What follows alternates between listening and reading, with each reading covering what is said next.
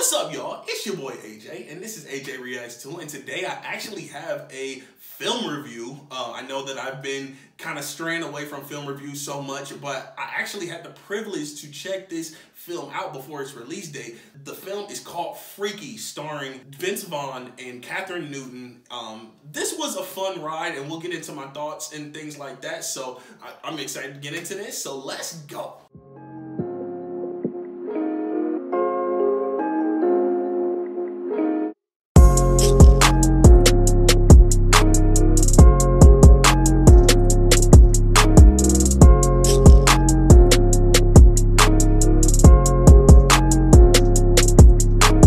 After swapping bodies with a deranged serial killer, a young girl in high school discovers she has less than 24 hours to change before it becomes permanent. Essentially, this is a body swap film. It reminds me of Freaky Friday, gives Freaky Friday vibes, and there's so many films that do these body swap um, type of things, and it, it's kind of a, a, a trope at this point where, you know, the you switch bodies and then like you have a certain amount of time before you're you know permanently permanently in that body that you swapped with. You have Kathryn Newton as Millie and Vince Vaughn as the Blissfield Butcher, and they swap. So um, the Blissfield Butcher is actually in Millie's body, and Millie is actually in the Blissfield Butcher's body. And Millie, while she's in Vince Vaughn's character, tries to switch back. So she's, you know, this teenage girl again. Obviously, why wouldn't you want to switch back? I don't think you really want to be in Vince Vaughn's body for too long if you're a 16 year old girl. Millie, while inside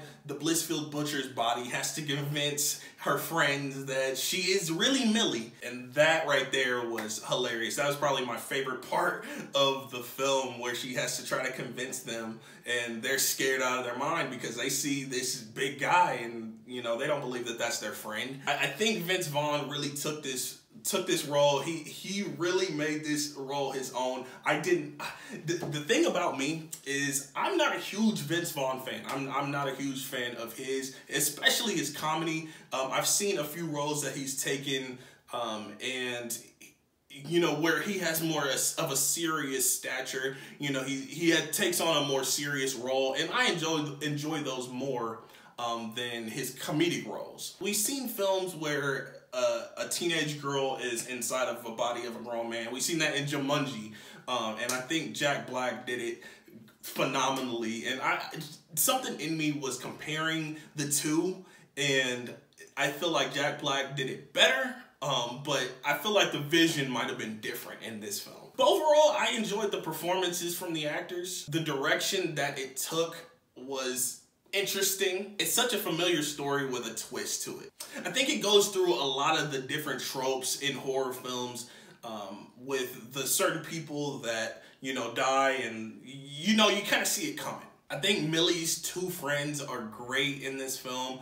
Uh, they bring a lot to the table, which a lot of horror films, I feel like the friends don't always bring a lot to the table, but her friends in this film did. Especially Josh. I thought he brought a lot of laughs. He was very funny, and uh, yeah, I really connected to that character. This film brought Friday the 13th vibes, and that's funny because it releases on Friday the 13th. So overall, I would give this film uh, 8.5 out of 10. So head down to the comments. Let me know if you're gonna watch this film. If it's something that you're interested in, let me know why. I'm interested to see. Follow me on social media, Instagram, Twitter, Letterboxd, Twitch, AJ Reacts 2 all across the board. Thank you, thank you, thank you for watching, and I will catch you guys next time.